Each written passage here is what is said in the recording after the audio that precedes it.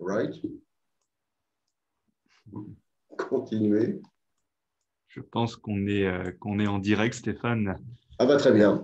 Alors bonjour, euh, bonjour à tous. Je crois que vous êtes assez nombreux aujourd'hui à, assister à ce webinaire. Je, donc, je m'appelle Gilles Bossilière, je suis président de CF Paris Île-de-France et donc je suis heureux de vous accueillir pour ce webinaire national sur la protection du dirigeant et la protection de l'entreprise. Alors, ce format de matinale en ligne, on l'a lancé euh, comme euh, beaucoup d'organisations avec la crise sanitaire et euh, ça rencontre un vrai succès auprès des confrères. Donc, on est très heureux de pouvoir multiplier ces événements. Aujourd'hui, on accueille Stéphane Marie d'AG2R La Mondiale, donc un éminent spécialiste du sujet de la protection du dirigeant, particulièrement sur tout ce qui est question sociale je ne pense pas devoir vous rappeler à quel point ce sujet est important. Si vous êtes connecté aujourd'hui, c'est que bah, vous en avez déjà conscience. Alors, quand même un mot pour vous dire que euh, ce sujet est technique et je ne crois pas qu'en tant qu'expert comptable, on puisse maîtriser tous les sujets. Il est important de se faire accompagner par des vrais spécialistes euh, qui euh, sont présents sur le marché, dont AG2R, la mondiale, fait partie, euh, l'interprofessionnalité est sans doute quand même une source d'avenir pour, euh, pour notre profession et euh, c'est très enrichissant de travailler avec des techniciens de cette qualité-là. Alors, je suis très heureux d'accueillir Stéphane parce que Stéphane et moi, on a fait une tournée des départements il y a deux ans en Ile-de-France où on abordait justement ces sujets de la protection. Ça avait été un, un relatif euh, succès. Euh, avant de laisser la parole à Stéphane euh, pour une heure, une heure et demie, je vous invite à poser vos questions sous le chat s'il y en a et je me ferai fort de les transmettre à Stéphane au fil de la présentation afin que tous les participants puissent avoir les brillantes réponses de notre intervenant.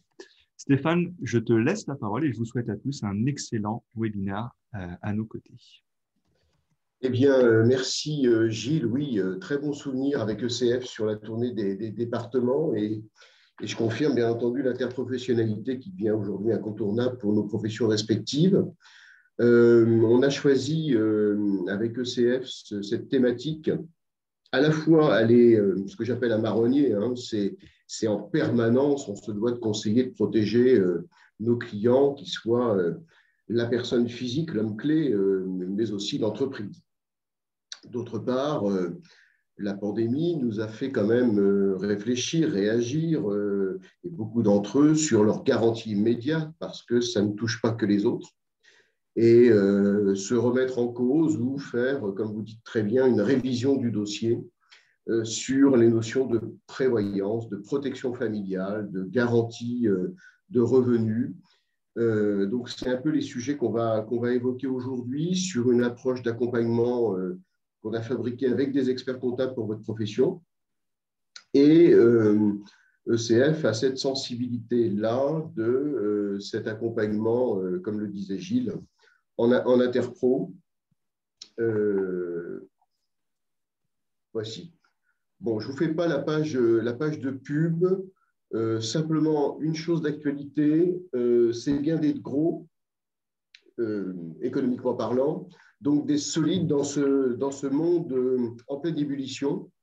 Et d'avoir euh, des réserves et une marge qu'on appelle dans notre jargon euh, assurantiel une marge de solvabilité, c'est-à-dire la capacité financière à payer les engagements d'aujourd'hui, de demain, ben, on est bien content d'être d'être un, des leaders, comme d'autres opérateurs, à pouvoir assurer des millions d'assurés, de, clients et de pouvoir être au rendez-vous, surtout quand on a des événements très particuliers comme la pandémie ou les, des arrêts de travail. On a un, boost de burn-out euh, et d'arrêt de travail qui se prolonge, là pour, pour info. Euh, suite, et apparemment, c'est peut-être que le début. Donc, on est partout en France, vous nous connaissez par cœur, ce n'est pas le, souci là-dessus. quelques vignettes, parce que sur des, interventions que nous faisons qui sont absolument méconnues, qui sont, je dirais, presque extra-assurantiels, mais qui sont connexes à, nos activités. C'est tout un accompagnement, euh, soit psychologique, soit financier, soit d'investissement euh, pour euh, le quatrième âge, par exemple. Là, on vient de racheter une filiale à, Nexity sur des, maisons médicalisées. parce qu'on pense que, évidemment, l'avenir, compte tenu de l'espérance de vie, c'est aussi accompagner nos, anciens, même si l'État a créé l'an dernier, vous le savez, une cinquième branche de sécurité sociale qui est dédiée à la dépendance. Alors, déjà, on va planter, si vous voulez bien, le décor, c'est les risques euh, auxquels sont confrontés nos, clients et puis surtout mesurer les conséquences. Et les conseils que nous sommes, c'est comment on peut l'accompagner au mieux, notre dirigeant qui a, euh, le couteau suisse de, l'entreprise. On a choisi de le segmenter en, trois branches. La première, euh, la famille, la deuxième, la protection de l'entreprise et bien sûr, quand il y en a, la protection des associés qui sont parfois, et on l'a vu, et c'est la réflexion qu'on faisait avec Gilles, parfois un peu oubliée, bien, bien, bien loin de la création ou autre, euh, euh, pacte d'associés euh, un peu vieux. Premièrement, le dirigeant et sa famille. Alors, les risques, vous les connaissez, de maladie, d'invalidité, de décès, de dépendance, de chômage éventuel, et puis, euh, de l'autre côté, euh, les rédactions, bien sûr, des clauses bénéficiaires, où là, c'est même plus un chantier, je ne sais même plus comment le qualifier, tellement c'est catastrophique dans ce pays où les opérateurs vont un peu trop vite sur euh, le conseil, l'accompagnement des bénéficiaires en cas de décès. Alors là, évidemment, on parle de prévoyance, hein, d'assurance pure en cours d'activité, mais on peut prendre exactement le même parallèle, si vous voulez, pour les contrats d'assurance vie puisqu'il y a des capitaux en déshérence. Donc, ce n'est pas la volonté des assureurs de garder les capitaux, on doit, les régler, mais par la méconnaissance euh, des euh, bénéficiaires. Donc, on mettra le nom, le prénom, la date et lieu de naissance, le dernier domicile connu et euh, les, les, filles qui deviennent femmes mariées, leur nom d'épouse, voilà. Et les mettre à jour, parce que ce n'est pas le tout de le faire une fois, mais les mettre à jour et l'envoyer à l'assureur pour, que le dossier soit, soit bien tenu. Alors, euh, euh, la maladie, j'ai un, sujet d'actualité. Je profite euh, avec Gilles de vous avoir ce matin. C'est que l'actualité, on est le 22 juin. Vous avez vu passer, je n'en ai aucun doute, le décret du 12 juin 2021 qui concerne l'article 69 de la loi de financement sécu de 2021 qui donc qui nous confirme l'instauration pour les professions libérales d'une indemnité journalière pour la première fois dans son histoire pour les trois premiers mois d'arrêt. Donc, on peut se noter déjà de façon très opérationnelle que je suis expert comptable, j'ai un portefeuille euh, de professions libérales. Toutes les professions libérales sont concernées, sauf les avocats, qui sont déjà dotés d'un régime de croyance. Donc, euh, y compris, bien sûr, Gilles, nos adhérents, nos interlocuteurs adhérents CAREC, évidemment, qui sont au fil aujourd'hui. Vous êtes concernés euh, en dehors de l'incrémentation d'une petite cotisation de 0,30% sur le BNC, vous aurez euh, une indemnité journalière qui ira jusqu'à 149 euros. Donc, on peut se noter déjà, premier risque, première ligne, eh bien, une notion tout à fait opérationnelle sur le deuxième semestre, sur la révision des contrats de prévoyance, bah, ceux qui sont équipés, bien sûr, et puis aller chercher, bien sûr, la sensibilité des professions libérales qui ne le sont pas. La validité, alors la validité, on dit en général tout et n'importe quoi, c'est vraiment l'inaptitude reconnue au, travail. Euh, la validité, elle peut être partielle ou totale, c'est la commission médicale de la caisse maladie qui la désigne et l'assureur vient en complément par rapport au taux qui a été désigné et non pas, comme j'entends souvent, le contraire. Le décès, c'est le risque le plus simple, à, évidemment, gérer, encore que il peut être soit par maladie ou par accident. Je rappelle que dans les articles du Code des assurances, le décès accidentel est causé par un tiers. Hein, je n'ai pas rencontré un arbre. Hein, il y a un rapport de police en général qui est établi. L'indépendance, on en a euh, parlé. Euh, d'activité pour accès au chômage rédactions de clauses. Alors, pour le, le décès d'une personne, euh, évidemment, et la maladie ou la il y a bien sûr des couvertures des charges fixes de l'entreprise de notre client. Et là, soit il peut le faire, soit il ne peut pas assumer sur une longue durée, plusieurs mois par exemple, la couverture de ces charges fixes. Donc c'est vraiment la question qu'on a posée. D'ailleurs, on a créé quelques questionnaires qui pourraient, des formulaires, comme on dit aujourd'hui, euh, qu'on pourrait euh, vous, vous, transmettre qui permet d'avoir un lien avec votre client sur des questions de sensibilité. Est-ce que votre entreprise a les moyens de faire face à la défaillance de, vous-même en tant que, dirigeant? Et puis le troisième axe que vous voyez à l'écran, c'est la mise en cause à titre personnel du, de, ce, de, notre client avec le risque financier sur le dirigeant en cas de responsabilité civile ou pénale. Euh, aura-t-il les moyens financiers à titre personnel pour, pour faire face? Gilles, tu complètes quand tu veux. Je suis tout oui. Euh, troisième euh, item, après la famille et l'entreprise, évidemment, quand il y a des associés, c'est un périmètre de jeu qui est un peu différent. Et on va euh, aborder les conséquences du décès d'un des associés, la rédaction des clauses bénéficiaires des emprunts professionnels, et pour un seul euh, objectif, bien entendu, la pérennité de la société, pour pas qu'on se retrouve bancal lors d'un événement euh, aussi grave. Et puis, il y a euh, l'incapacité aussi d'un associé à gérer comment ça va se passer, quelles sont les conséquences pour l'entreprise, et puis le décès du dirigeant et l'absence d'anticipation en matière de transmission. Je sais qu'avec Gilles, on avait évoqué ce sujet qui est extrêmement sensible souvent des transmissions euh, souhaitées mais mal préparées, pas anticipées ou pas assez anticipées. On est vraiment des latins à faire tout au dernier moment, ça se confirme. Euh, on est, vous le savez, des anticipations minimum 3-5 ans. Quoi, hein. euh, c'est ce qu'on voit en général pour prendre le temps à la fois de réfléchir, de décider, de mettre en place. Et bien sûr, Stéphane. Oui, Gilles, pardon. Excuse-moi, je, complète quand même en, disant que ce sujet de la prévoyance sur les risques relatifs aux associés euh, doit être une mission qui vient compléter une mission juridique avec la rédaction des statuts, des pactes d'associés, qu'est-ce qu'on fait des parts si un des associés euh, euh, décède, et comme tu disais, donc la transmission avec le pacte du trade. C'est un élément qui va venir compléter l'ensemble de l'arsenal, et c'est tous les éléments qu'il faut avancer ensemble euh, euh, et, donc, c'est un vrai sujet. Hein. Euh, c'est évidemment des sujets qui s'anticipent. On, a pas mal de cas, donc nous, on a un pôle patrimoine au, cabinet. On a pas mal de cas d'entrepreneurs qui ont des boîtes qui aujourd'hui valent un peu de, un peu, un peu de sous et qui, en fait, même s'ils ne sont pas en, péril d'un point de vue de la santé, se rendent compte qu'ils ont un petit peu trop tardé à anticiper ces sujets-là parce que plus tu attends, plus ça te coûte un bras de, préparer, de préparer, de te couvrir contre ces, risques-là. Merci. Et qui mieux que l'expert comptable est mieux placé pour le sensibiliser et faire la feuille de route euh, de l'anticipation de sa transmission. Donc on l'a schématisé euh, comme ça. D'ailleurs, certains euh, cabinets qui, travaillent avec nous ont, même affiché cette slide. Hein. C'est voilà, je, présente les différents impacts pour, pour mon client parce qu'on évoque souvent une ou deux bulles, hein, pas, pas plus.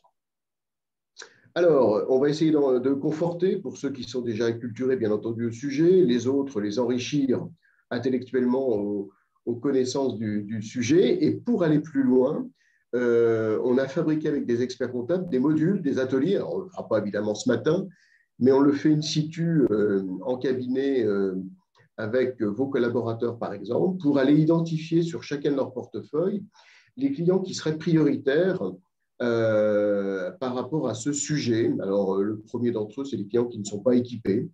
Il en reste quelques-uns, même si 62% des dirigeants entrepreneurs plutôt indépendants sont équipés, 100% euh, des assimilés salariés, au moins par un accord de branche, une convention collective. Et puis ensuite, de voir comment le déploiement peut être fait sur un accompagnement client, une veille particulière, qui peut être fait avec un correspondant expert qui vient à la rencontre des clients pour les informer et mettre à jour les, dossiers.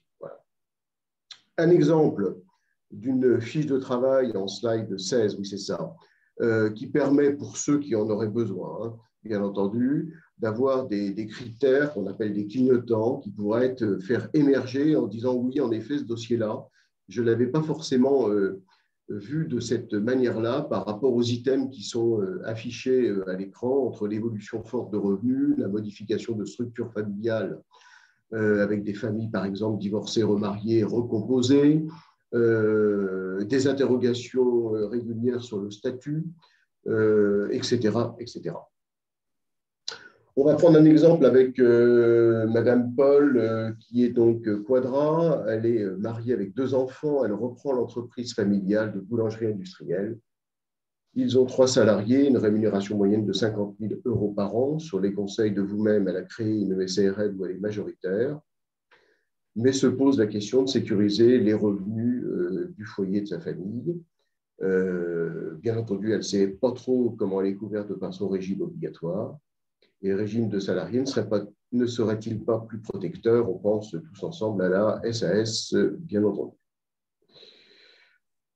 Euh, oui, alors oui, euh, d'une caisse à l'autre, pour l'instant, si la retraite a une vision euh, d'unifier les régimes, la prévoyance, c'est loin d'être le cas. Il n'y a pas une caisse qui résonne pareil, qui cotise pareil, qui donne des prestations identiques, etc., compte tenu de l'histoire de la constitution des différentes caisses de prévoyance. On se permet de partager quelques questions ensemble, les risques en cas de maladie ou d'accident. Alors la première, c'est projection du dirigeant en arrêt de travail quel sera le revenu certain qu'il continuera à percevoir? Euh, ça paraît un peu basique, mais peu de nos clients savent spontanément, en dehors des salariés et encore, comment ils sont couverts. Précisément, les garanties sont-elles les mêmes, quel que soit son statut social? Que se passerait-il pour le reste de la famille si demain le dirigeant venait à être en arrêt de travail Et surtout, pour moi, de ma vision, expert en protection sociale, c'est l'invalidité? Je suis cabossé à vie ou partiellement, je dois changer de métier, je ne peux plus travailler, je dois me euh, faire une reconversion, c'est pas ça. Je ne parle pas de l'aménagement éventuellement d'un véhicule ou d'un logement. Voir une disparition, comment la famille ferait-elle pour maintenir mon niveau de vie? Y a-t-il un double revenu dans le foyer? Euh, Le dirigeant a-t-il le revenu principal, etc. Et bien sûr, euh, projection sur la protection des enfants, quid du financement des études, s'il y a études. Alors, les IJ. Les IJ euh, d'arrêt de travail temporaire. C'est la somme qui est versée à un assuré destinée à compenser toute ou partie de la perte de revenus liée à son incapacité temporaire de travail en lien avec une atteinte à son intégrité physique. Ah, ça fait très universitaire, mais c'est un petit, rappel théorique qu'il nous faut bien pour se mettre en bouche en début d'intervention. On considère qu'il y a quatre critères importants, le montant de la prestation, son délai de carence, euh, quand à partir duquel va être indemnisé l'assuré, la durée de la, prestation et le délai de franchise. Alors, le délai de carence et délai de franchise, pour ceux qui pourraient se poser la question, c'est à partir, la carence, c'est à partir de quand mon dossier prendra son effet et la franchise, à partir de quand va être perçue mon indemnité. Ce qui est parfois un peu euh, dans la confusion générale. Euh, d'où bien surveiller, euh, par exemple, quand on compare des, contrats, quand on modifie des contrats, quand on change d'opérateur, euh, de faire en sorte d'en trouver un qui évite de s'embrigader dans une nouvelle carence, puis ensuite une franchise s'il y avait arrêt de travail. En effet, s'il y a un arrêt de travail chez un nouvel opérateur pendant la carence, il n'y aura aucune prestation. Donc attention, parce que je vois certains euh, qui sont à la recherche du euh, moins cher à tout prix, hein, donc le prix efface le reste, et que euh, ne sont peu regardées les, conditions inhérentes à la prestation souscrite. Alors, je ne vous fais pas l'affront de vous demander les prestations parce que vous êtes déjà trop nombreux et on ne peut pas le faire. C'est un petit rappel déjà de comment s'organisent, selon les quatre grandes branches des, caisses de prévoyance, les prestations. Alors, euh, vous avez ici euh, le régime général qui est dominant dans le pays, euh, avec ces, ces, régimes de mensualisation complétés par une éventuelle convention collective et un accord d'entreprise, et peut être surcomplété par un régime supplémentaire facultatif, nonobstant vous le savez, sur la conformité, on n'oublie pas la DUE, l'accord collectif, le référendum, l'information à tous les salariés, la liste des dispenses, etc., etc., pour être très tout à fait propre, mesdames, messieurs, devant un contrôleur ou une contrôleuse de l'URSSAF. Deuxième catégorie, la sécurité sociale des indépendants, ex-RSI, donc, eux, un régime de base, pas d'accord particulier selon les métiers chez les indépendants, et donc j'ai ou pas la souscription d'un régime supplémentaire pour compenser, on l'a vu. La mutualité sociale agricole, même topo, et vous aurez un distinguo, puisque là, on passe non pas sur des caisses mutualisées, mais une caisse autonome. Ce sont les caisses des professions libérales, donc d'ailleurs la CAVEC, hein, qui a créé que récemment une indemnité journalière, qui a un régime propre de gestion de ses cotisations et un régime propre de ses prestations. Et donc, tout à chacun peut avoir la liberté de le compléter. Un petit rappel de la loi du 19 janvier 1978 sur la mensualisation. Donc, vous avez ici en bas à gauche les, prestations, le niveau des prestations et, euh, selon l'ancienneté, la durée de la prestation. Et puis, un schéma euh, récapitulatif en bas à droite de euh, la, durée et de la hauteur de, de la dite prestation sur la mensualisation. Tout ça, on le maîtrise, il n'y a pas de débat. Euh, quand j'avais fait avec Laurent Benoudiz en 2018 un petit sondage, on était au Marriott, euh, vous étiez 180 et devenu, bah, plutôt des, franciliens. On avait demandé avec Laurent si un salarié était mieux couvert en arrêt de travail de base qu'un indépendant, plutôt la branche commerciale artisan. 90% de la salle à, main levée avait dit que le salarié était mieux couvert. Mauvaise pioche, puisque depuis 2015-2016, la modification a été faite sur le calcul de base des salariés et euh, en dehors d'un complément d'une convention collective. Un TNS est mieux couvert sur l'indemnité journalière. Alors, euh, ici, vous avez 56 euros par jour pour un TNS euh, ex-organique ou AVA pour les plus anciens, artisans commerçants. Il est couvert à hauteur de 50% du plafond de la, Sécu, c'est-à-dire 365e partie de cette assiette à compter du 1er décembre 2010. Et au minimum, vous voyez qu'il euh, il a un forfait égal à 10% de ce, de ce montant-là depuis 2015. Euh, et donc, en, fait, quand on voit ici un salarié qui a le même revenu, 4 000 euros, en cas d'arrêt de travail, travail prolongé, le TNS à 56 euros, et depuis la, nouvelle modalité de calcul qui est passée comme une lettre à la poste par les différentes circulaires, le salarié n'a que 46%, 46 euros pardon, par jour. Franchise 7 jours par maladie, zéro en cas de maladie professionnelle ou d'accident du travail.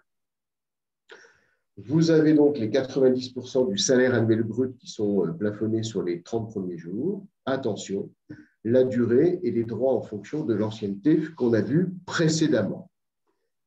En général, on se dit les choses, si on résume, le salarié, c'est la méthode du feignant, puisqu'il est bercé par sa convention collective un accord de branche. Vous appliquez-vous dans les cabinets parfaitement les taux que vous recevez, et qu'en général, on a plus de 80% à 100% du salaire qui est garanti par le salarié. Il n'y a en général pas de débat la, chose est plus sensible pour nos amis TNS, gérants majoritaires, profession libérale et euh, membres de la MSA. Depuis 2012, la prestation en cas d'arrêt de travail des TNS artisans commerçants est supérieure, donc euh, oui, je le confirme et je le chiffre devant vous, euh, pour, par rapport aux salariés. Ce qui permet de balayer, mesdames, messieurs, quelques idées reçues qu'on pourrait encore rencontrer euh, chez certains euh, de vos confrères. L'indemnité agricole reste à 21 euros par jour, entre 7 et 30 jours, puis après elle grimpe à 28 euros. Vous connaissez euh, les conditions de protection des agricoles. Je suis profession libérale avec un bénéfice de 50 000 par an. je bénéficie d'indemnité journalière. Bah, c'est la, la, réponse du Normand, ça dépend, puisque vous savez que chaque caisse a sa réglementation, c'est ce qu'on a vu. Euh, une petite vue globale sur les prestations inhérentes au, TNS et aux professions euh, libérales, donc tout confondu, en dehors de notre salarié et de notre TNS commerçant artisan ici. Vous avez une variation quand même plus que saisonnière, puisque alors là, ça va de 0 à 101 euros euh, par jour pour nos amis médecins. Vous avez, ben, en dehors du décret que je vous ai décrit en, en propos liminaire du 12 juin applicable au 1er juillet de cette année, vous aviez une SICAV, la Caisse des notaires, euh, la CAVP, la CAVOM, les officiers ministériels, euh, les vétos, les pharmaciens, qui n'avaient aucune indemnité, ni avant les trois premiers mois d'ailleurs, ni après. Euh, donc il y a une rectification, une correction qui a été apportée pour que tout statut confondu, on est au moins une indemnité pendant les trois premiers mois. Il est vrai, il est vrai que les indépendants, statistiquement parlant, s'arrêtent moins que les salariés. Mais on a vu depuis les créations d'indemnités journalières SSI, RSI à l'époque, une hausse régulière du montant de demande d'arrêt de travail, d'arrêt de travail de euh, nos euh, travailleurs indépendants et quelques professions libérales qui sont vraiment bien après. Le phénomène Covid a généré énormément de burn-out, je l'ai dit, et euh, toutes catégories socio-professionnelles confondues, y compris, puisqu'on a rencontré ici et là avec les CROEC, des burn-out d'experts comptables, qui est un vrai sujet d'ailleurs. Point de vigilance du risque maladie. Alors, euh, le régime obligatoire, on l'a vu, une carence, une durée, une franchise, un niveau. Et puis, bien sûr, on n'oubliera pas le mi-temps thérapeutique. Alors, on a un petit focus à faire sur la TMP parce que c'est vrai qu'il y a eu beaucoup de choses qui sont parues sur l'accident du travail et la maladie euh, professionnelle. Euh, deux choses, c'est que l'accident du travail est caractérisé par une survenance d'un fait dit accidentel, soudain, donc un tiers ayant provoqué une lésion par rapport à l'accident de trajet et par rapport à la maladie professionnelle. Euh, ici, nos indépendants euh, n'avaient pas, euh, puisque le cinquième livre du Code de la Sécu n'avait pas prévu d'ATMP pour les indépendants, il était rédigé pour des salariés exclusivement. Et il, lui a, fallu attendre quelques années, voire quelques décennies, pour avoir cette apparition-là. Alors, je rappelle que on peut souscrire en tant qu'indépendant indépendant, directement auprès de, de l'URSSAF une, une, option d'ATMP, euh, voire de la CPN, pardon, directement, euh, qui donne une prestation d'un demi-plafond ou d'un plafond maximum dans la limite du revenu, évidemment, euh, et qui est d'un excellent rapport euh, qualité-prix. Et c'est vraiment un bon conseil. C'est la deuxième opérationnalité que je pourrais vous transmettre ce matin. Après la segmentation des IJ de vos professions libérales, c'est euh, les professions à risque. Alors, on pense à qui? On a une profession qui est extrêmement sensible à ce phénomène. Ce sont nos, infirmiers, infirmières libéraux-libérales. Il y a un taux de souscription qui est le plus fort aujourd'hui. Euh, ça peut être le kiné en déplacement. J'ose imaginer éventuellement un expert comptable en déplacement. Euh, et d'autres métiers de consulting, etc., qui sont euh, en déplacement ou autres, car là, c'est ouvert à l'ensemble des TS. Solution de sécurisation, bien sûr, du risque. Là, c'est un risque majeur hein, en cas d'arrêt de travail, car s'il n'y a pas la reconnaissance de l'accident du travail, mais une simple maladie, ni la caisse de base ne servira l'indemnité journalière, ni la mutuelle complémentaire ne servira les frais, le remboursement des compléments de frais médicaux. Donc, ça vaut peut-être le coup de se pencher sur cette assurance volontaire individuelle, accident du travail, maladie professionnelle. Je vous passe le mot euh, ce matin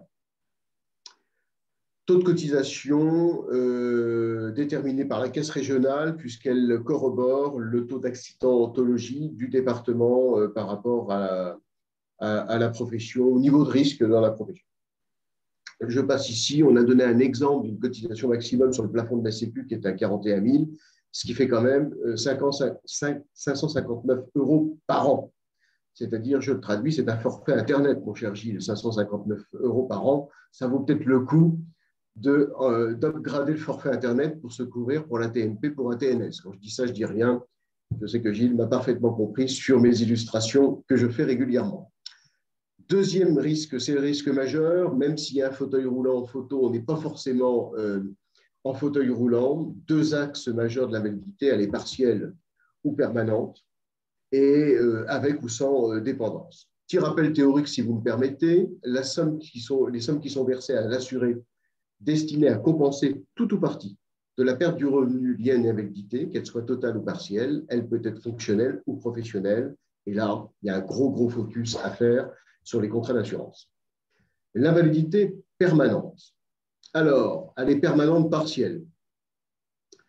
Peut-être mal nommée, mais c'est comme ça au niveau du Code des assurances. C'est une perte de capacité ou de, de gain qui est supérieure au taux défini par l'assureur. Le taux de, d'invalidité partielle doit être inférieure à 66%. Elle est reconnue totale dès lors qu'il y a une perte de capacité au travail et de gains supérieure à 66. Et puis vous avez euh, le pire, c'est le 100%, dit au titre du Code de la Sécu, troisième catégorie. Je suis dans l'incapacité définitive d'exercer une profession quelconque, quelconque et obligation d'avoir recours à l'assistance d'une tierce personne pour effectuer les actes ordinaires de la vie. Je ne suis pas une plante, mais presque, mais l'assistance est vraiment euh, là euh, incontournable. Donc là, gros, gros, gros, grosse analyse. Auditons, auditons les contrats des clients pour être sûr, avant de changer, avant de modifier, de savoir ce qu'on va éventuellement perdre. C'est beaucoup plus sensible qu'un transfert de contre-retraite, hein, je peux vous le dire. Ici, on va prendre le même schéma directeur de la construction de la rente d'invalidité selon les caisses. Ben, on va retrouver exactement la même chose euh, que pour l'arrêt de travail temporaire. La Sécu, elle l'a très, très structurée en plus de son régime de base avec une convention collective et un accord de branche, et un régime facultatif, comme d'ailleurs les trois autres branches, avec le seul régime supplémentaire. Petit rappel théorique euh, pour se mettre au clair et enrichir ou euh, mettre à jour vos connaissances, la pension d'invalidité qui sera perçue du RSI, SSI aujourd'hui du régime général, se calcule sur la moyenne des dix meilleures années précédant la reconnaissance de l'invalidité. J'y tiens, ce n'est pas forcément les dix dernières, puisqu'on va faire la moyenne par rapport au plafond. Alors, vous avez, on a mis ça, on a fait un résumé sur un seul tableau du calcul des pensions selon les, statuts, ce qui vous permet d'avoir euh, comme ça une vision euh, globalisée. Pour le, je prendrai deux, deux exemples. Hein. Euh, la Sécu et le TNS euh, artisan commerçant. Le salarié, c'est un pourcentage du salaire annuel moyen qui est revalorisé des 10 meilleures années. Vous avez trois catégories 30%, 50%, 50% d'incapacité, qui est majorée, bien sûr, s'il y a une tierce personne dans la limite d'un demi-plafond. Ce n'est pas si simple. Hein. le point de vigilance, c'est la catégorie 1. Elle est souvent absolument pas reconnue par les assureurs. À minima, présenter une invalidité réduisant des deux tiers la capacité au travail et de gain. Euh, donc là, il faut aller chercher éventuellement, si on souhaitait cette couverture-là, un contrat qui prévoit une prestation dès la première catégorie. Euh, ça existe euh, sur le marché. Et puis vous avez en troisième colonne notre SSI, où là, c'est 50% du revenu annuel moyen des 10 meilleures années, dans la limite de la moitié du plafond si la validité est partielle euh, et la validité totale et définitive. Voilà ce que je voulais vous dire. Les professions libérales sont indemnisées à partir de 33% d'incapacité euh, permanente. Et selon les caisses, là aussi, il n'y a, a, pas d'unanimité, d'uniformité. C'est selon les caisses, euh, selon les réglementations historiques et les négociations qui ont été faites au fil de l'eau. Avec des majorations, rente de conjoint, rente par enfant à charge, évidemment. Alors, quand si on était en salle, je vous ferai, euh, je vous ferai voter les quatre prestations par rapport, euh, euh, au statut, à qui appartient, à quel statut appartient ces prestations. Donc là, on va faire le même parallèle que l'indemnité journalière. Donc déjà, la première bonne nouvelle, c'est quel que soit le statut des régimes privés, salariés, TNS, profession libérale, tout le monde à une prestation minimum d'invalidité. Alors attention, il faut bien sûr relativiser. Hein. Est-ce qu'on vit avec 5 260 euros par an, 14 000 euros, même 27 000 euros par an? Il faut quand même relativiser par rapport aux revenus des professions libérales qui sont en général en moyenne supérieure ou supérieure. Mais il y a toujours un minimum. Donc là aussi, quand on va accompagner les clients sur ce domaine de prévoyance, d'arrêt de travail et ici d'invalidité, c'est de bien inscrire et de rappeler pourquoi, à quoi servent les cotisations obligatoires dont vous avez la charge de l'écriture et de l'enregistrement. Ça a au moins le mérite de dire, bah, tiens, au niveau des professions de conseil, on explique pourquoi vous payez. C'est aussi dans l'accompagnement ce qu'on propose à la profession. Je rappelle que donc euh, notre euh, CAVEC prévoit 28 000 euros euh, par an en invalidité permanente. Le régime obligatoire va donc établir sa prestation selon le taux, selon un forfait ou en fonction des revenus selon la caisse. Sur euh, quelle assiette, il faudra bien le, vérifier. Et puis, euh, le taux euh, qui peut être pondéré selon le taux fonctionnel, c'est-à-dire à exercer les choses de la vie, manger seul, s'habiller seul, se laver seul, se mouvoir seul, de la validité professionnelle et exercer les actes les plus courants de ma profession. Euh, je rappelle que ici, la détermination de la plupart des contrats d'assurance est une moyenne qui est faite euh, de droit commun, comme on le dit, entre l'incapacité fonctionnelle et professionnelle, ce qui fait baisser en général le taux. Si par exemple j'ai un taux professionnel très fort et un taux, un taux fonctionnel très bas, prenons un exemple, le chauffeur routier qui, qui perd son petit doigt lors d'une manipulation peut continuer globalement à conduire son camion et donc son taux euh, professionnel est pas très lourd. En revanche, le même petit doigt qui est perdu par un chirurgien dentiste aura un taux euh, d'invalidité ou d'incapacité fonctionnelle euh, et professionnelle, pardon, extrêmement fort. Là encore, il faut vérifier si le contrat d'assurance prend bien en compte l'invalidité professionnelle d'abord pour être sûr d'avoir un remplacement du revenu immédiat. Donc, sur le calcul, on va passer par rapport aux items qu'on a abordés avec vous ce matin. C'est bien le mixage des deux euh, règles que je viens de vous rappeler. Et donc, il y a ici euh, ce qu'utilise beaucoup euh, le métier de l'assurance, c'est donc cette pondération qui est faite selon ici à l'horizontale la validité fonctionnelle et à la verticale la validité professionnelle.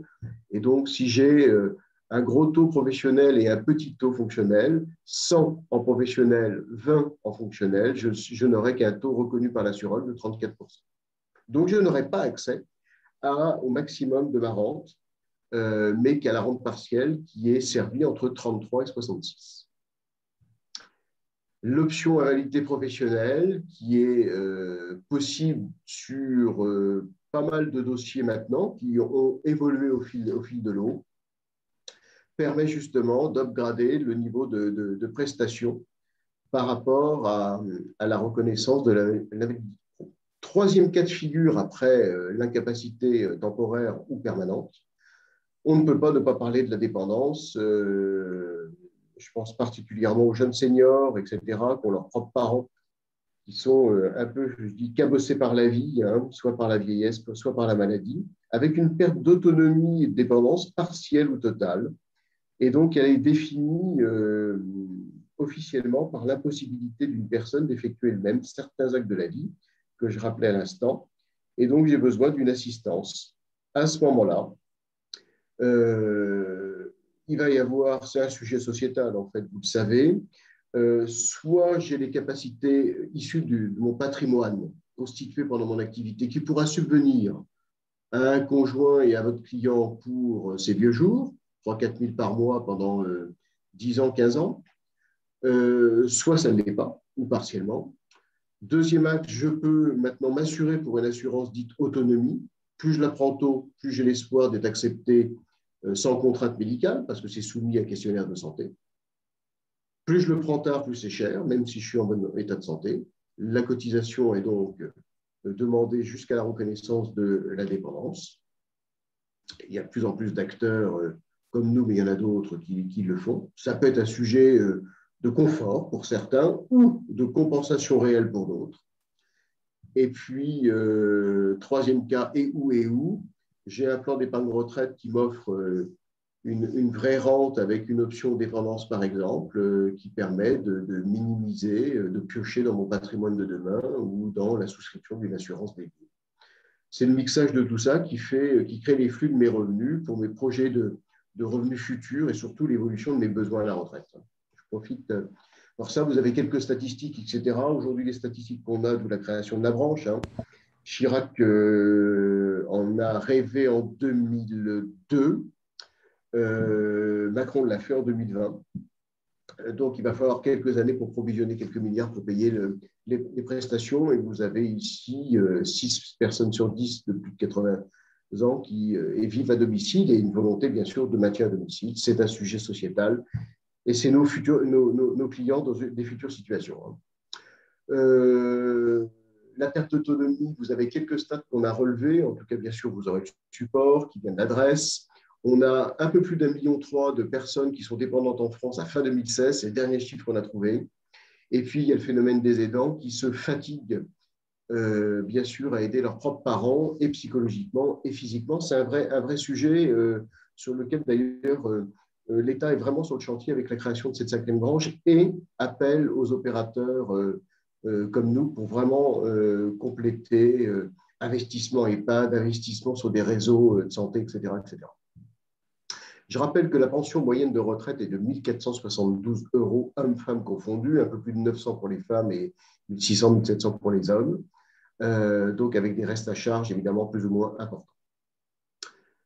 L'assurance autonomie, euh, garantie principale, garantie euh, optionnelle, je passe vite, il y a des minimums de prestations et on peut le upgrader sur des, options avec des maintiens à domicile. Ce n'est pas notre sujet principal de ce matin et vous verrez des exemples de tarification. Disparition du, dirigeant, euh, une population de 67 millions, 612 000 hors Covid, hein, euh, dernier chiffre 2019, 21% euh, des décès ont entre 30 et 65 ans, mince, ce sont nos clients. 96% d'entre eux sont décédés par maladie et 4% par accident. Ça nous donne déjà une petite idée de la prestation et de la sensibilisation qu'on a à faire auprès de notre clientèle. Le fonctionnement, vous allez être très très surpris, il ne change pas. Euh, vous avez vu donc euh, le 14 mars 47 la création de la Convention euh, collective nationale des cadres avec l'institution du fameux 1,50 à payer sur la tranche A qui donne une prestation minimum conventionnelle qui permet de couvrir la famille en général de trois plafonds de sécu, hein, donc 120 000 euros pour aller vite. Tous les autres statuts n'ont aucun régime euh, complémentaire digne de, ce nom, et seul leur régime de base ou la caisse prévoit une prestation. On va passer assez rapidement pour aller sur euh, notre tableau euh, général. Donc, on a pris l'habitude en arrêt de travail en invalidité. Ils ont tous une prestation, mais quelle prestation? Deux, alors déjà les rois, je vais commencer par les rois, déjà les reines, la CAVEC puisque vous avez une prestation d'essai, euh, les adhérents de la CAVEC, à 164 000 euros en cas de décès. Bon, est suffisant ou pas, c'est un autre débat, mais c'est la plus forte des régimes. Je rappelle que la Sécu, hors convention collective, prévoit depuis 2015 une révision qui ne prévoit un forfait de 3 400 euros. 3 400 euros. Même les TNS ont plus, en cotisant moins, 8 200. Je fais appel à tous ceux qui sont sensibles à la SASU, mon cher euh, Gilles, à la SAS pour euh, dire je vous aurai une meilleure protection sociale. Alors, hors complément, c'est faux. Et dans certains cas, c'est vrai, selon, etc. Je suis ni pour ni contre, mais un peu des deux. Euh, et vous avez des 100 000 pour les notaires, des 60 000 pour les médecins, etc. Quoi qu'il advienne, dans la plupart des cas, après audit de prévoyance, dès lors qu'il y a une famille, évidemment, hein, euh, une protection familiale, évidemment, ça nécessite un complément pour au moins couvrir, en dehors des frais euh, d'obsèques, hein, c'est couvrir au moins une à deux années de revenus pour que le conjoint puisse se retourner, si surtout elle a pas de, il ou elle n'a pas de profession, euh, se reconvertir, voire reprendre l'entreprise, etc., etc. Il y a deux, trois sujets, vous l'avez vécu peut-être dans vos unités. Euh, focus sur la rente de conjoint qui est parfois prévue de façon obligatoire euh, par les caisses. Ici, les libéraux, hors qu'avec, hors avocat, qui prévoit une prestation annuelle qui est servie au conjoint au décès de, euh, de l'assuré, qui va jusqu'à 17 743 euros par an pour les veufs ou veuves de chirurgiens dentistes. Rente éducation, l'enfant est à charge fiscalement, il jusqu'à 18 ans, il poursuit ou jusqu'à 21 ans s'il poursuit d'études. On va jusqu'à 18 000 euros par enfant euh, chez la caisse des notaires et 1 euh, 500 euros par an euh, chez les consultants, les profs, etc., les, les, la CIPAV, zéro chez les salariés, zéro chez le SSI, 9 400 pour le carré. Quelques points de vigilance. Est-ce que le capital est, quel est le montant de mon capital nécessaire pour protéger ma famille? Comment évoluer, évaluer les besoins financiers de la famille en cas de disparition? Quelle référence prendre en compte? Est-ce que c'est le taux normatif du 1,50 cadre ou est-ce qu'il faut que j'aille euh, améliorer les prestations inhérentes à l'environnement matrimonial de mon client, patrimonial de mon client? C'est un vrai sujet.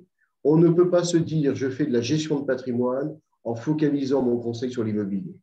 La gestion de patrimoine, on le voit avec Gilles, c'est un environnement globalisé du patrimoine immobilier, du patrimoine des valeurs mobilières, mais du patrimoine un peu oublié, je dois le dire, du patrimoine social, n'est-ce pas Gilles? Tout à fait, tout à fait. Parce que, encore une fois, c'est une matière qui demande tellement de compétences qu'on ne peut pas être bon partout. Hein. On a beau je, se former. Je, ne vous en veux pas, mon cher Gilles. Je ne vous en veux pas. On n'aurait pas le plaisir de travailler ensemble sinon. Ben, c'est ça, c'est vraiment le complément avec des points d'alerte que je pourrais donner à Gilles. Je dis voilà, le client il est bien couvert, il a des dossiers, euh, ils ne sont pas chez moi, ils sont de très bonne tenue, il faut les garder, pas de souci. En revanche, demandons à l'opérateur d'aller euh, mettre à jour euh, la rentabilité, la rente d'éducation parce que les enfants sont encore petits. Euh, et puis, on va aller chercher, nous, la protection de l'entreprise sur ce, qu'on va vous parler, ce dont on va vous parler tout à l'heure, le contrat une clé ou la garantie entre associés. C'est une vision 360 en toute objectivité si on veut bien faire son métier auprès de vous. Clause bénéficiaire, évidemment, j'en ai parlé, je martèle, j'appuie, je, voilà, c'est toujours, je tombe de ma chaise quand, souvent quand j'ouvre un, un, contrat d'assurance. Donc la cause standard, euh, j'ai rien à faire, sauf que euh, j'ai pas les coordonnées du conjoint, j'ai pas les prénoms des enfants, j'ai pas le domicile, dernier domicile connu, etc., etc. Et puis derrière, on peut aller euh, choisir la clause bénéficiaire spécifique et qui offre une liberté totale au souscripteur de proportion euh, au bénéfice de ses héritiers ou autres, d'ailleurs, puisqu'on met euh, pas que les héritiers, vous le savez, on met qui on veut. Ça peut d'ailleurs même être une personne morale, une fondation, une association ou autre, et euh, de dire, voilà, je souhaite 80% pour l'un, 20% pour l'autre là-dessus, en privilégiant la situation financière d'un bénéficiaire par rapport à un autre, établir des propres règles pour répartir les capitaux dans l'ordre que le client le décide. Si on opte pour cette clause euh, spécifique, euh, ne jamais mélanger la qualité et la nomination.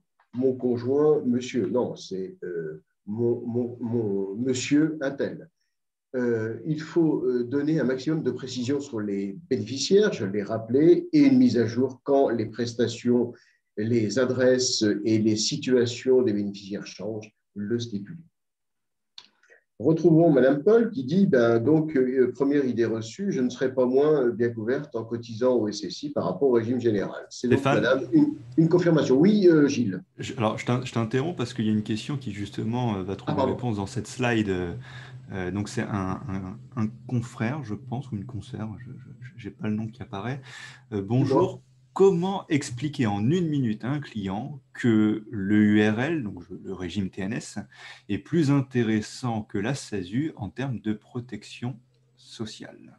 En une minute. Ben, la, première chose que je répondrais euh, euh, à notre interlocutrice ou notre interlocuteur, c'est déjà mesurer l'appétence au risque de votre client. En clair, l'ERL me laisse le choix de faire ou de ne pas faire un niveau de prestation qui, contrairement au statut assimilé salarié, m'est imposé. Parce que déjà, reprenons la genèse, avant de parler du niveau de prestation, si vous voulez bien. Un, mon client souhaite-t-il avoir un niveau de prestation en cas d'arrêt de travail, d'invalidité ou de décès supérieur à ceux qui lui sont donnés par son régime obligatoire? Pourquoi je vous dis ça? Dans de rares cas, mais quelques cas quand même, on va dire, écoutez, madame, monsieur, vous êtes bien gentil avec vos contrats d'assurance, mais j'ai euh, j'ai 10 000 euros par mois de loyer. Euh, si je suis en arrêt de travail, ça m'étonnerait que mes, mes locataires, euh, professionnels ou, particuliers, arrêtent de payer. Premier item. Deuxième chose, je ne souhaite pas dépendre d'une caisse qui m'impose des prestations qui ne correspondent pas à ma situation personnelle. Exemple, il est célibataire sans enfant, d'avoir un capital d'essai ou une rente éducation dans sa cotisation qui lui est obligatoire n'est pas forcément efficient. Troisièmement, je ne peux pas faire évoluer euh, ma, mes prestations à concurrence de l'évolution euh, de ma famille et de mes, et, de mes besoins. Euh, exemple, euh, en TNS, je n'ai pas de plafond si je veux souscrire une assurance d'essai de plusieurs millions. Bon, voilà. Euh, ma convention collective peut m'enfermer dans un niveau de prestation qui ne me correspond pas. Voilà ce que je vous dirais.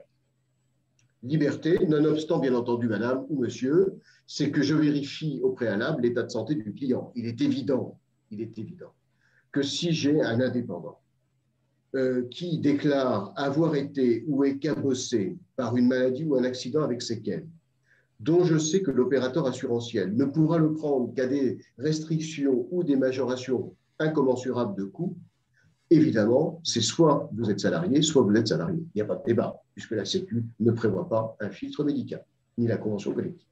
Voilà, Gilles, ce que je répondrai à notre interlocutrice ou notre interlocuteur. C'est très clair, merci. J'espère que j'étais dans les 60 secondes.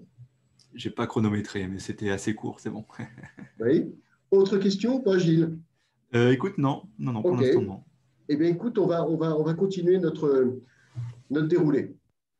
Donc, euh, des tableaux de bord, la visuelle, hein, vous avez ici euh, une restitution qui peut être faite. À gauche, assimilé salarié, à droite, avec un E pour salarié, et une gérante majoritaire, Madame Paul, euh, à droite. Et vous avez en rouge la colonne des régimes obligatoires, CQ ou SSI. en jaune, le complément éventuel qui a déjà été souscrit ou qui va être souscrit pour avoir à la droite la somme des deux premières colonnes. Et vous avez en gris la nature des risques. Et vous avez sur un seul tableau de bord, je reprends la définition de la profession, un seul tableau de bord pour avoir l'identification, la visualisation de l'ensemble des prestations de prévoyance. C'est assez utile pour accompagner votre client. pour ceux qui le pratiquent, ils le savent bien. Oui, mais vous êtes bien gentil, mais je serai cadre. Et il faut dire qu'en France, il y a quand même, mesdames, messieurs, une a priori exceptionnelle, c'est qu'est-ce que tu fais dans la vie? Eh bien, je suis cadre. C'est quand même formidable, c'est le seul pays. Hein. Donc oui, et moi je répète ça autour d'un after work, comme on dit ici, c'est de dire oui, attends, je repose ma question, quelle est ta profession hein? Je ne te pose pas la question de ton statut. Après ce, petit sourire, c'est de dire surtout, en plus, il y a une convention collective qui est plus protectrice. Dans certains cas, oui, euh, mais pas toujours. Encore une fois, est-ce qu'elle est en adéquation avec mes besoins? Euh, alors, la convention collective s'applique-t-elle, on va le voir, au mandataire social assimilé salarié On reprend le même parallèle ici, comparatif euh, des prestations entre la prévoyance cadre, qui est alimentée ici d'un complément conventionnel, par exemple, ou de la prévoyance cadre 1680, coût de la prévoyance TNS 1800, euh, sur une couverture identique. Je veux 147 euros euh, par jour en maladie, 52 000 en invalidité permanente annuelle jusqu'à 62 ans et des garanties d'essai autour de 200 000 qui se rapprochent euh, euh, maladie et accident. Ce que l'on voit, c'est qu'on a un coût qui se rapproche, mais surtout ici à droite, des prestations qui pourront évoluer baisser un peu l'indemnité journalière, augmenter l'invalidité ou le contraire, dans la limite de mon revenu, augmenter peut-être quand les euh, enfants sont à charge en cas de décès et le baisser peut-être un peu après, ce que je ne pourrais pas faire ici, dépendant d'une CCN. Les deux sont, justifiables et défendables, ce n'est pas, le, pas le débat. C'est surtout les besoins du client à un moment euh, donné et surtout dans le cadre de son suivi sur l'évolution. C'est tout. Deuxième petit détail qui n'en est pas un, à gauche, euh, le côté normatif. Et là, je pense à votre service social. C'est-à-dire, c'est de se dire, attention, si j'ai une catégorie de cadres ici, vous savez que vous devez englober tous les autres cadres, s'il y en a, avec les mêmes prestations. Et parfois, on le sait, le dirigeant n'a pas envie de donner un avantage complémentaire aux autres salariés en plus de lui-même. Petit détail en passant que je n'ai pas en tant que TNS.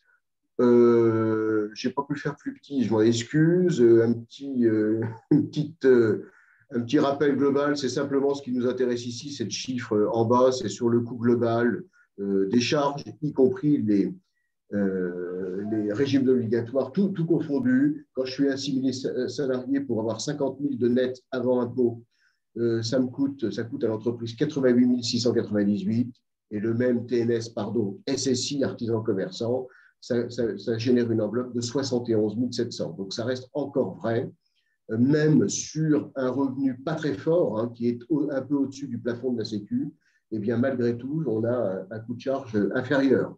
Donc, commercialement, on pourrait imaginer que le delta soit octroyé à des régimes privés en retraite, en santé et en prévoyance pour dire, voilà, un coût identique d'un salarié, vous upgradez votre niveau de protection sans aucun problème, parce que là, à 5-6 000 de prévoyance par an, on peut avoir un très, très bon niveau de prestation.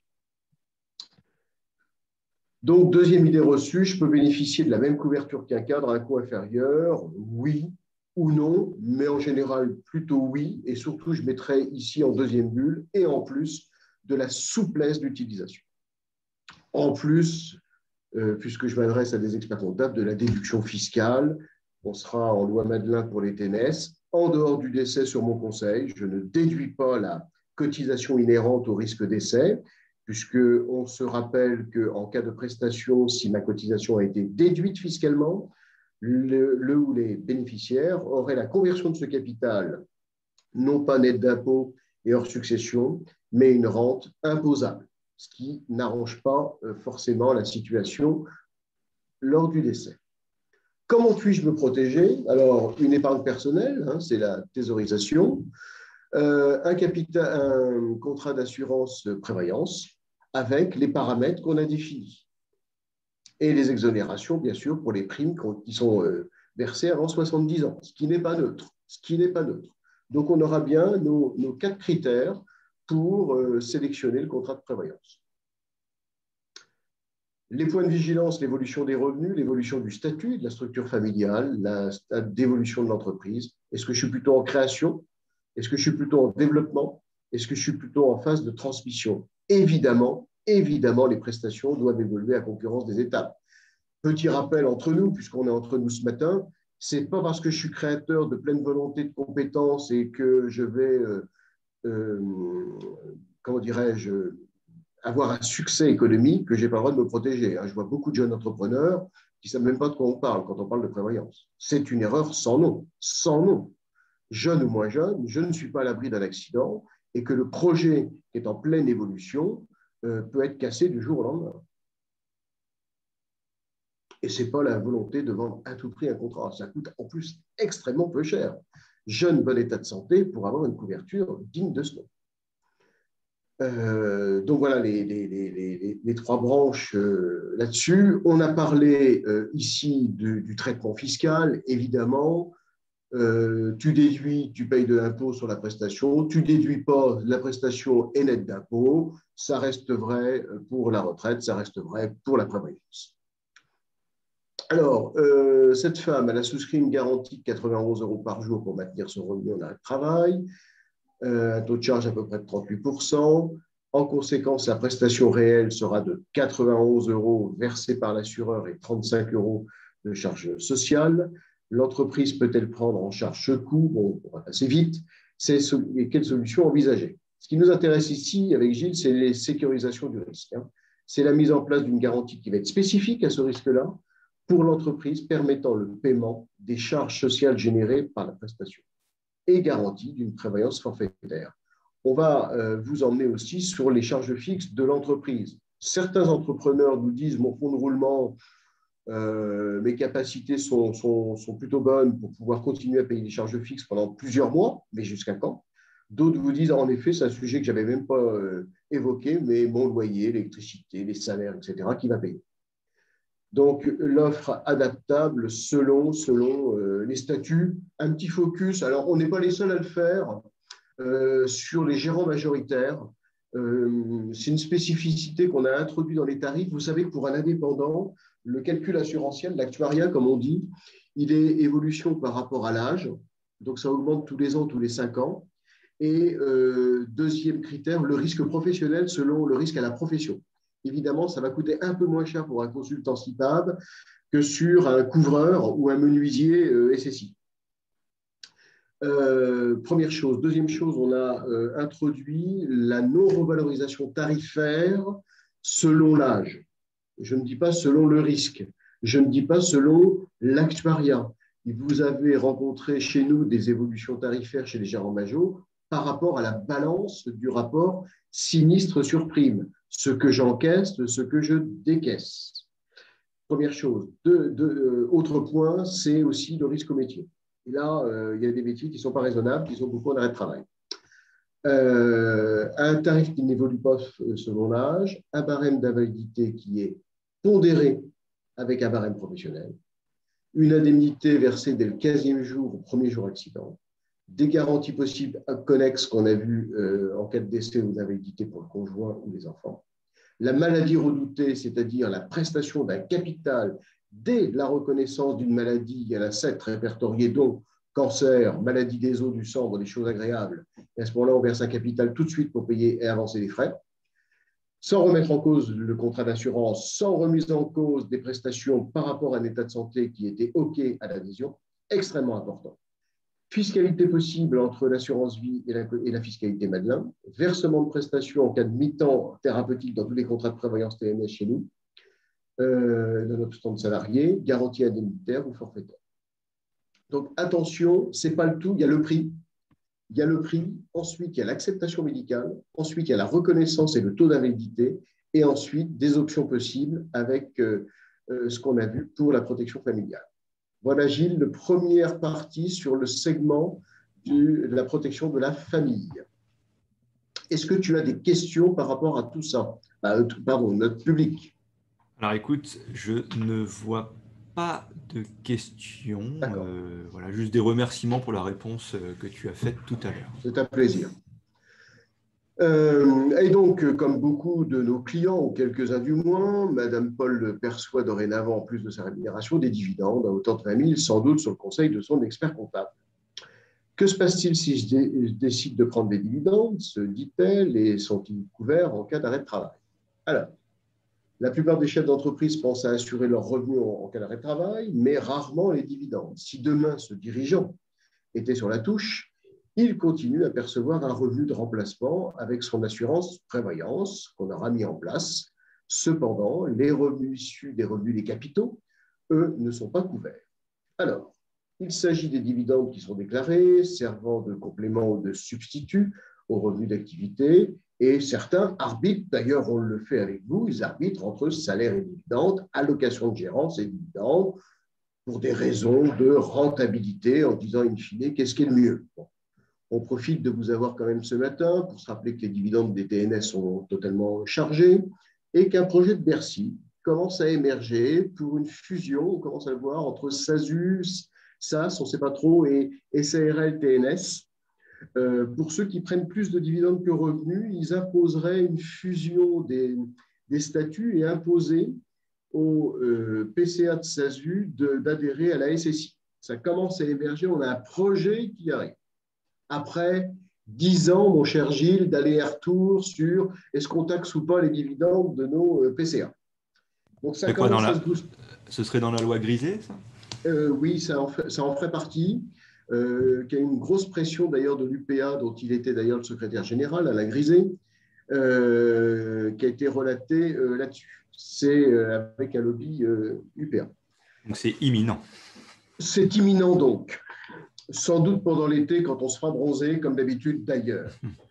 Ici, la stratégie passe aussi par les dividendes et impacte donc mon pouvoir d'achat. Donc, je mesure les impacts d'une sortie en dividende, quand elle est partielle, il n'y a pas de débat, mesdames, messieurs, entre nous, c'est quand il y a une volonté impérieuse de diminuer fortement la rémunération soumise à charge, donc qui me génère un droit social, par rapport à un dividende qui est taxé, et lui ne génère aucun droit social chez un TNS.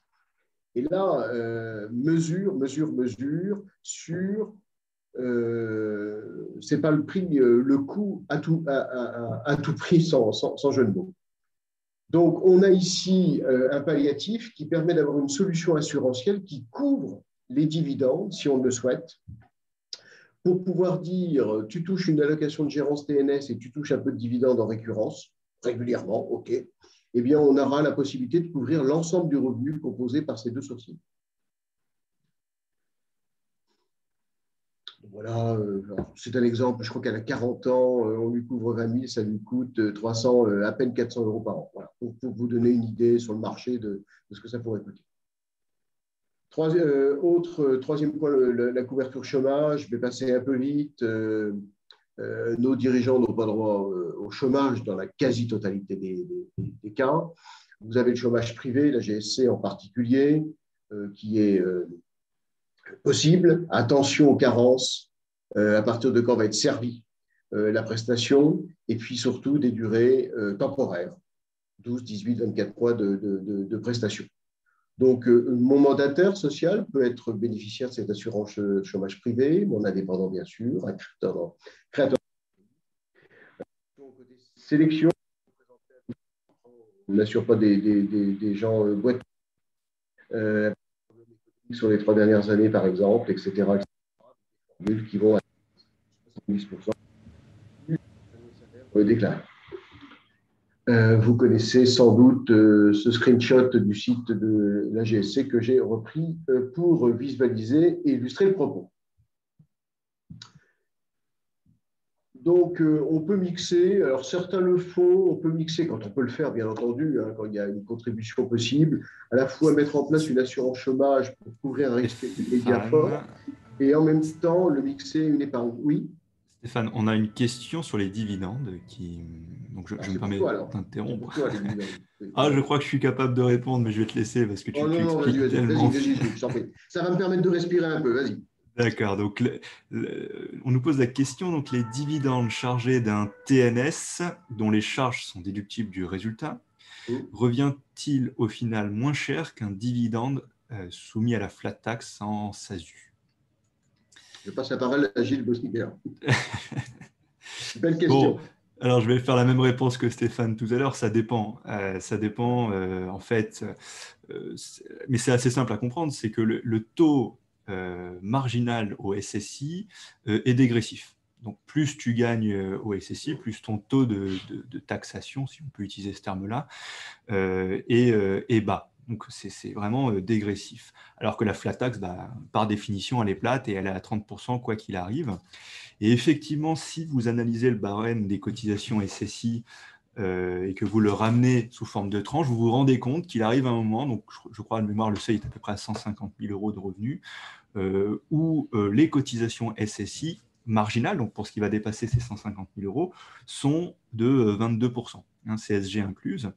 Mais 22%, avant déductibilité. Donc, euh, comme le dit le, confrère ou, la, consoeur, sont déductibles du résultat. Alors, pour être tout à fait précis, sont déductibles en fait des revenus déclarés à l'impôt euh, euh, sur le revenu. Et, quand on est sur ces niveaux de revenus, on peut imaginer qu'on est sur une TMI de l'ordre de 45%. D'accord? Donc, 22% de taux de cotisation déductible à une TMI de 45%, et ben, ça nous fait moins que les 17,20% de CSG qu'on paye dans la flat tax. Donc, oui, la réponse dans ce cas-là est affirmative. Euh, cela coûte moins cher euh, en termes de taxation directe, hein, je dirais, euh, en termes de net disponible immédiatement, de prendre des dividendes soumis à cotisation sociale du régime TNS par rapport à la flat tax de la CESU. Mais évidemment, tout dépend de la tranche dans laquelle vous vous situez. Si on est sur des toutes petites URL où le gérant n'a pas de salaire et il prend que des dividendes en fin d'année, c'est pas aussi évident et la réponse sera peut-être inverse. Peut-être que la, SASU sera euh, plus intéressant avec la flat tax. Et je précise bien que je n'ai évoqué que l'aspect coût et en aucun cas prestation, parce que, euh, rappelons-le quand même, la flat tax n'est génératrice d'aucune prestation. Hein. Il n'y a aucune cotisation là-dedans, ce qui n'est pas le cas des cotisations SSI. Voilà, je ne sais pas si Stéphane, tu veux compléter cette réponse. J'adhère et que, et que le, le dividende aujourd'hui est vraiment un complément de revenu et non pas un tout prix d'optimisation parce qu'on va flinguer, on va flinguer beaucoup la protection sociale immédiate de notre assuré, et on peut même aller plus loin ensemble, c'est de dire j'écrase volontairement. Alors, je ne parle pas, mesdames, messieurs, des cas marginaux qu'on va avoir ensemble à traiter, la phase de, de, début de transmission où notre client a euh, l'autoplein en retraite tous ses trimestres, euh, les enfants ne sont plus à charge et autonomes, ou presque, euh, très peu de crédit, etc., euh, d'écraser une rémunération pour avoir ses droits sociaux, un peu de prévoyance, au cas où sur les dernières années, mais beaucoup de dividendes en SASU, ça nous gêne moins d'un seul coup. Mais c'est peanuts par rapport à l'ensemble de notre clientèle. Il ne faudrait pas faire un cas marginal d'une généralité. C'est surtout ça parfois que je vois en cabinet. Deuxième chose pour euh, ceux qui sont ce que j'appelle en croisière, en croisière parfois mouvementée, hein, mais en développement ou en consolidation, Là, évidemment, l'assiette de revenus va être essentielle dans une protection immédiate et une protection de demain. Et puis, encore une fois, si on a, et je sais que vous avez toujours un œil fiscal affûté, les experts comptables, c'est si on a une volonté aussi d'optimiser, par exemple, les droits de retraite par un régime supplémentaire de CAPI, eh bien, je baisse la rémunération, que je sois salarié ou TNS, je baisse aussi l'enveloppe déductible. Si j'augmente mon dividende, mon dividende n'est pas un élément qui est pris en compte à ce jour dans le calcul des enveloppes disponibles défiscalisantes. Je, je voudrais vous emmener avec Gilles sur la, deuxième partie, sur, mais qui va aller avec euh, la protection des dirigeants, sur la protection de l'entreprise et des salariés, après la protection de la, famille et, de lui-même. Euh, elle a six salariés, euh, elle a évolué, elle a 70 000 de revenus et 20 000 de, de dividendes, et elle se pose de nouvelles questions, c'est plutôt bien. Euh, comment faire pour payer une partie des charges de l'entreprise si je suis en arrêt euh, Donc là, il y a des couvertures de, frais généraux euh, permanents. les charges fixes de l'entreprise et les charges variables. On va se contenter des charges fixes, qui est déjà beaucoup, qui s'affichent. En fait, tout sauf le revenu du dirigeant et en dehors des charges qui pourraient être variables, les matières premières, etc. et là, c'est assurable. Sachez-le, la personne morale euh, ou l'entreprise, bien entendu. Euh, c'est assurer son propre revenu personnel, mais rarement, on n'a mis jamais, peut-être un peu trop sévère, mais c'est vrai que c'est très rare d'avoir une couverture des frais généraux courants de l'entreprise. Si celui-ci est en arrêt de travail, même un arrêt de travail prolongé, je ne parle pas de l'arrêt de travail de 15 jours, bien entendu, il continue à percevoir son revenu de remplacement, mais quitte des charges de l'entreprise? Et à ce moment-là, on va avoir, alors un petit résumé ici, euh, des charges qui pourraient être prises en charge, euh, c'est les salaires, charges incluses aussi des salariés. Et ça peut, pour certains euh, clients, hein, selon leur surface de masse salariale, avoir une enveloppe quand même à assurer qui est intéressante pour éviter de pénaliser l'entreprise, taxes et impôts professionnels, les taxes et intérêts sur les traites, le coût du crédit bail, les pertes de dépréciation des matières consommables, les amortissements d'équipements et les agios, s'il y en avait, sur découvert. Je passe. Où trouver l'information Alors ça, c'est pour notre réseau interne. Ça, évidemment, nous, euh, c'est un peu loin. Donc, on vous demande les charges d'exploitation pour trouver après le montant, euh, euh, l'enveloppe à, couvrir au maximum, puisqu'on ne peut pas couvrir plus ce qu'on a à, bien entendu, euh, qui commence à s'accumuler. Ici, elle a 40 000 euros à couvrir, pratiquement. Voilà, donc on a une solution euh, qui lui coûterait 774 euh, euros par an pour couvrir 40 000 euros par an. Donc, évidemment, ça ne coûte rien, pardonnez-moi pour le rien, mais peu. la fiscalité qui va être attachée ici, c'est la partie assurance vie classique euh, donc, euh, pris en charge, mais pas déductible pour servir cette prestation-là. Euh, on verra la franchise, etc. Et surtout, vous emmener ce matin sur notre sujet avec Gilles, la couverture, la protection de l'entreprise par la prestation d'un contrat homme ou un contrat femme clé dans les entreprises. Très peu usité, beaucoup en parlent, peu le font en fait.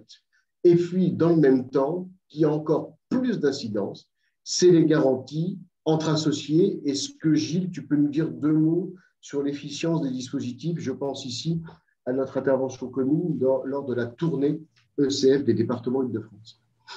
Bien sûr, on avait évoqué justement ces sujets des contrats, euh, contrats donc, euh, protection, contrats d'assurance de protection, que ce soit l'homme clé ou, euh, ou euh, ce qu'on appelle l'assurance croisée. Je crois que, tu, que ce sera la slide d'un après, hein, si je ne dis pas de bêtises. Donc, euh, euh, toute la pertinence de ces contrats, alors évidemment dans une situation où on a plusieurs, plusieurs associés, toute la pertinence de ces stratégies repose sur le fait d'aller au bout des stratégies en mettant en œuvre des modifications juridiques au niveau de la société, des statuts, des pactes d'actionnaires. Donc, c'est typiquement euh, les, contrats euh, d'assurance homme-clé qui ont pour objectif hein, de dégager un capital en cas de, de décès. Ça marche aussi en invalidité, l'homme-clé, Stéphane? Décès. Décès Alors, tu as l'invalidité permanente et le décès. Hmm. D'accord, donc si, si, on prend le cas par exemple de l'invalidité permanente, euh, il me semble que le cas qu'on avait évoqué lors de la tournée des départements, c'était l'entrepreneur qui a sa SASU ou, son EURL, hein, qui, qui, détient, il se retrouve en invalidité. C'est ça. Euh, tu touches un capital dans la société, mais euh, comment récupérer ce capital si l'associé unique, hein, en charge de liquider éventuellement la société ou de distribuer les réserves, est en invalidité? Et on avait donc évidemment parlé du mandat de protection future, qui est la solution juridique qui correspond à cette difficulté-là et qui permet euh, de euh, représenter euh, l'entrepreneur donc invalide dans l'exercice de ses droits en tant qu'associé. Encore une fois, le mandat de protection future, c'est quelque chose qui doit être fait avant le sinistre. Une fois que l'entrepreneur est, incapable d'exprimer ses, droits, d'exprimer ses droits, il, faut, enfin, il est trop tard pour faire le mandat de protection future. Donc, de manière systématique, lorsque vous avez un client qui souscrit ce type de produit, il faut aller au bout de la démarche parce qu'ils euh, peuvent ne pas être efficaces euh, à la sortie pour parfois des broutilles juridiques. Hein. Euh, donc là, on a parlé de l'invalidité, c'est le cas aussi avec le décès. L'assurance croisée entre associés qu'on évoquera après, c'est très bien de toucher un capital pour racheter les parts aux héritiers de son associé euh, défunt, mais si euh, aucune contrainte juridique, statutaire ou de pacte d'actionnaire ne permet d'imposer la cession de parts, bah, vous pouvez vous retrouver avec un capital, mais pas forcément les parts. Donc encore une fois, il faut toujours aller au bout de la démarche, et c'est là-dessus qu'on a une valeur ajoutée en tant qu'expert comptable, et c'est là-dessus qu'on peut valoriser une relation interprofessionnelle euh, avec des, des, institutions de la qualité d'AG2R. Merci Gilles c'est surtout l'offre packagée. Voilà, c'est euh, ici. je passe le, traitement. Euh, c'est ça, tu vois, soit par décès, soit par invalidité absolue et définitive, qui provoquerait une baisse conséquente, bien sûr, du chiffre d'affaires et mettrait en difficulté la pérennité de l'entreprise. Alors, mon clé peut me servir aussi à payer les charges et, le salaire d'un remplaçant temporaire. Euh, qui est clé Déjà, dans les petites unités, c'est assez facile à définir, bien entendu, et surtout, quelle est sa valeur? Quelle est la valeur de l'homme clé? Quelle est la valeur de votre client? S'il fallait le remplacer. C'est d'abord une fiscalité, déductibilité des cotisations versées, possibilité d'étalement pardon, sur 5 ans du produit exceptionnel généré par le versement de la prestation, parce que c'est un bénéfice exceptionnel, et la prestation versée est considérée comme un produit exceptionnel et fiscalisée à ce titre l'entreprise est le seul bénéficiaire de la solution. Donc, l'assuré, c'est la personne, l'homme ou la femme clé, le souscripteur, l'entreprise, et le bénéficiaire, l'entreprise également. Un exemple tarifaire pour 200 000 euros de capital d'essai à 40 ans, ça coûterait 222 euros par an. Si bien sûr, Madame Paul est en bon état de santé, bien entendu. Je ne vais pas dire que ça coûte rien, mais ça coûte quand même peu cher. Donc, j'ai ma responsabilité de dirigeant, j'ai ma responsabilité d'entreprise. Est-ce que je peux me protéger contre le risque d'être mis en cause à titre personnel? À quel coût? Pourquoi faire? Les risques, vous les connaissez. On en rencontre régulièrement. Une faute de gestion, un manquement, un manquement aux obligations statutaires, une infraction aux dispositions légales, les conséquences qui seraient pécuniaires, les dommages et intérêts, la défense civile ou pénale et les frais de réhabilitation de l'image du dirigeant. Euh, la responsabilité civile, qui est un peu connexe à mon métier d'assurance de la personne, qu'on trouve plus en assurance dommage, prévoit justement la couverture de ces risques-là, et bien sûr vérifier la qualité du contrat en dehors de son coût sur les prestations inhérentes à celui-ci. Responsabilité de l'entreprise, et si mon entreprise reçoit un avis de contrôle fiscal ou social qui va payer les honoraires de mon expert comptable, de mon avocat, existe-t-il une solution assurantielle? Oui. Il y a des protections juridiques que vous connaissez, hein, ou, euh, euh, pour un CA euh, qui est compris entre 500 et 700 000 euros, pour par exemple son entreprise, ça lui coûterait 600, un peu plus de 600 000 euros par an. ça vaut peut-être le coup aussi d'inciter nos clients à s'assurer pour ce risque-là, avec votre concours d'expert comptable. Alors, elle s'est développée, elle souhaite s'agrandir avec des associés. Donc, Gilles, tu vas intervenir par rapport à ce qu'on avait prévu sur la garantie croisée entre associés, puisqu'on l'a évoqué déjà nombreuses fois euh, tous les deux, risque de blocage de l'entreprise, risque juridique, risque financier. Est-ce que tu as un mot peut-être euh, à nous dire là-dessus sur déjà le fonctionnement dans les statuts ou le pacte d'associés sur des points de vigilance, Gilles? Oui, donc on l'a déjà abordé il, y a, quelques minutes. Hein. C'est évidemment l'idée que les, les, statuts la société ou le pacte d'associés, mais enfin notamment SS, ça peut tout à fait être dans les statuts, doivent prévoir quid, qu'est-ce qui se passe s'il y a un associé qui décède hein la règle étant, euh, en l'absence de dispositions statutaires, les parts sont transmises euh, aux héritiers. Les héritiers pouvant être les enfants, mais pouvant être euh, d'autres personnes, et en tout état de cause, pouvant être des personnes avec lesquelles les associés historiques n'ont pas forcément envie de se retrouver dans la société. Donc, plusieurs clauses, sont envisageables. Il y a évidemment l'agrément, hein, c'est-à-dire au moment du décès, on traite le sujet, est-ce qu'on est d'accord ou pas d'accord avec les héritiers qui récupèrent les, avec les héritiers qui, récupèrent les parts. Il y avait également la clause euh, d'exclusion, alors qui était une clause beaucoup plus forte, mais beaucoup plus euh, en même temps euh, rigoureuse, qui consiste à dire, quoi qu'il arrive, les héritiers ne deviendront pas associés de la société. Alors c'est une clause qui peut paraître séduisante sur le papier, mais qui impose quand même de racheter les parts. C'est-à-dire que si on a mis une clause d'exclusion, on n'a pas le choix, il faut racheter les parts.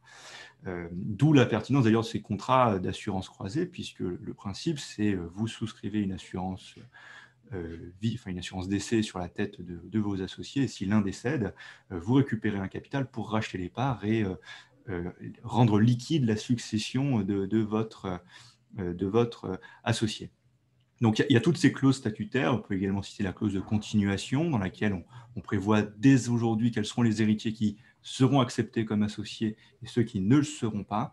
Mais toutes ces clauses doivent être ajustées au fil de l'évolution aussi de, la vie, puisque bah, y a des enfants qui peuvent naître, il peut y avoir des tensions qui apparaissent. Donc toutes ces clauses doivent être retravaillées de manière très régulière et euh, surtout euh, utilisées avec précaution. Encore une fois, une clause d'exclusion, ça peut paraître très séduisant sur le papier, mais s'imposer de racheter des parts, ça peut se, transformer en boulet le jour où il faut sortir le cash. Euh, voilà, voilà ce que je peux dire là-dessus, Stéphane, sachant qu'il nous reste 2-3 minutes, donc je ne veux pas m'éterniser sur, sur le sujet. OK. Euh, on pourra revenir avec vous, hein, faire une session peut-être dédiée à la protection euh, des, associés et des conséquences, bien sûr, euh, fiscales, sociales, juridiques là-dessus.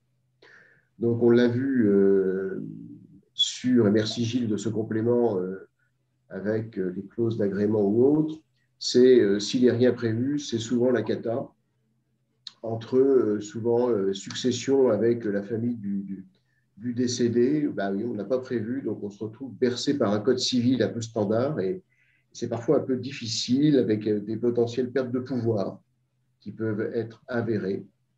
Euh, et donc, on va aller, et je terminerai là-dessus, sur la clause euh, croisée entre associés pour pouvoir protéger tout le monde le plus possible avec les éléments que nous a donnés Gilles par rapport à une clause standard qui protégerait que peu parfois le, le, dirigeant et surtout les survivants. Donc, soit les survivants ont la capacité euh, contributive personnelle pour acheter les actions et les parts sociales du décédé, ou euh, la capacité à aller chercher un emprunt euh, pour le financer, ou trois, ils ont souscrit une assurance qui leur permet de garder un peu de trésorerie pour pouvoir continuer à exercer et, la pérennité de, de leur entreprise. Donc euh, là-dessus, on est extrêmement euh, impératif. On s'accorde à une rédaction extrêmement fine, croisée entre associés. Vous avez un exemple à droite euh, d'un formulaire qu'on a fait tramer, validé par le notariat. Et avec vous, et chez le notaire d'ailleurs du client, sera déposée cette clause pour pouvoir euh, être enregistré et qu'il n'y ait aucun problème lors de la survenance de ce sinistre-là. Donc ça peaufine, ça complète les clauses qu'on a évoquées du, Code civil, comme le mandat de protection future créé en 2009 et qui n'est pas très utilisé, surtout qu'il est révocable, irrévisable. Euh, ça peut, alors pas dans tous les dossiers, mais ça peut avoir du sens, on le voit, dans des dossiers un peu à enjeu, euh, sur lequel, au début, vous le savez, dans l'association, tout va bien, et les choses évoluent et les règles du jeu doivent être marquées de plus en plus. Ça peut être là euh, une des pistes de réflexion qu'on peut vous livrer ce matin sur ce sujet sensible.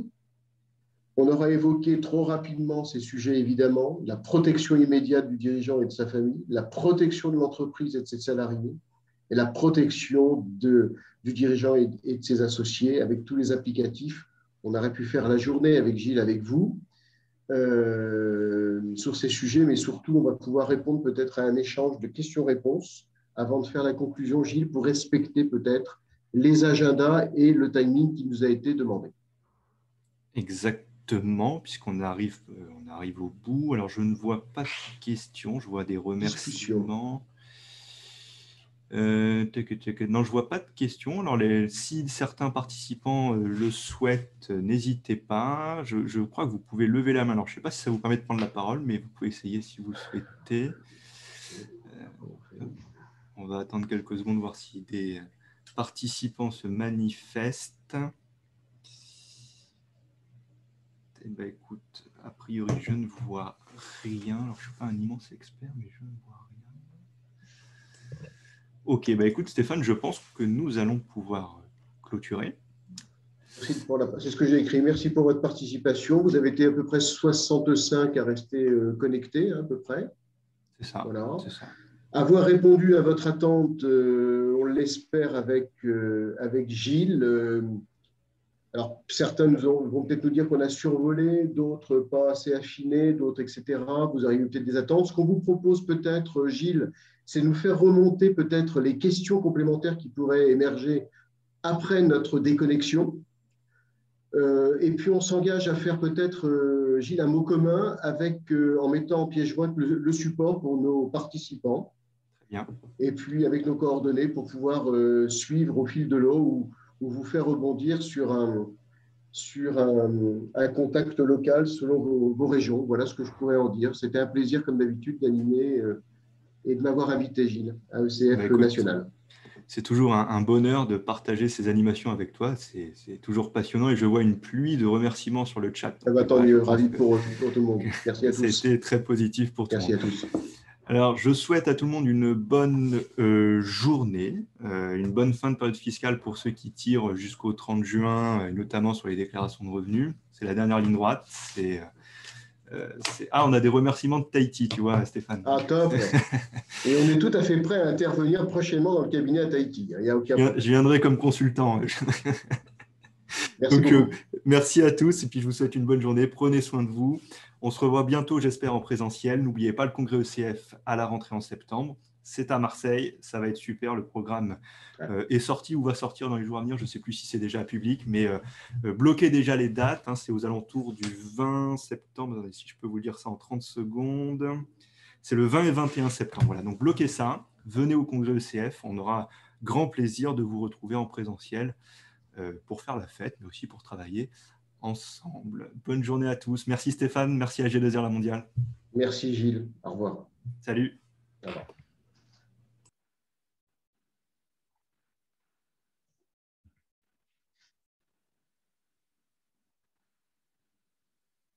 Marion est là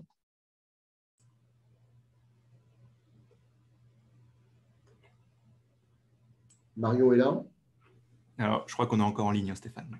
Ah.